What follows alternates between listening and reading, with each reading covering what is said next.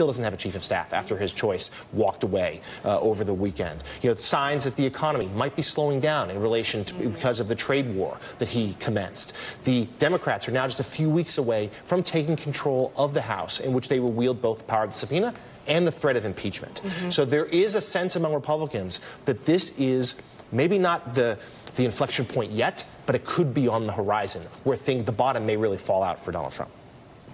Absolutely. Look, we're at this moment in time right now where we have enough information to sit and wonder might this be the greatest crime in American history?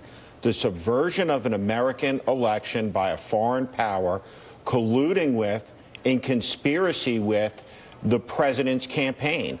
It's extraordinary to consider it. This is what George Washington warned the country about in his farewell address. The father of the country, when it was time for him to say goodbye, this is what he warned about.